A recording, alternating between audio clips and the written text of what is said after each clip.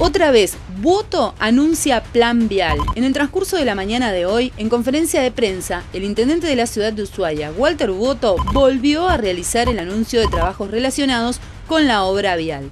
Los trabajos comenzarían en el mes de octubre y se extenderán hasta abril.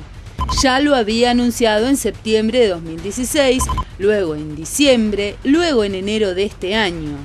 Boto dijo que este ambicioso plan se logra mediante un enorme esfuerzo y solicitó a la ciudadanía tener paciencia, porque los trabajos harán que la ciudad esté prácticamente sitiada. Los vecinos de Ushuaia padecen desde hace mucho tiempo el estado de las calles y los inconvenientes al momento de transitarlas. Así como lo dijo en el programa La Puerta Abierta, dijo que Ushuaia tiene 1.500 cuadras asfaltadas y que hay que reparar 270. Ushuaia tiene 1.500 cuadras asfaltadas, de las cuales 276 están devastadas y hay que reparar.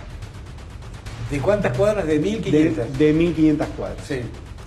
Este, en estas 276 eh, cuadras, nosotros ya tenemos con pliego licitatorio 157. Que es aproximadamente un 20% está destrozado entonces. Sí, 18. 18%.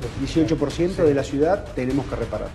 Por otro lado, afirmó que las obras van de 60 a 90 días. Nosotros vamos a iniciar, la mayoría de las obras van de 60 a 90 días. Sí. Nosotros hemos definido hacer parte en asfalto y parte en hormigón en asfalto también teníamos el problema de la deuda con las empresas.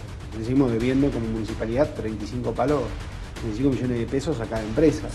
¿Por qué después de los anuncios del 2016 no están concretadas las obras? El intendente de Ushuaia continúa anunciando obras de pavimentación. Mientras tanto, los vecinos aguardan soluciones. ¿Qué opinas del estado de las calles? Un desastre, un desastre. Es que un pozo agarra cinco. Ayer rompí la cubierta el domingo, así que si, la pueden arreglar, por favor, que se pongan las, pilas de intendente. Y es difícil, sí, sí. Hay sectores que después del deshielo este que está pasando, cuando pasa el agua, digamos, se, mete mucha tierra, aparentemente agua, y se levanta lo poco que estaba arreglado.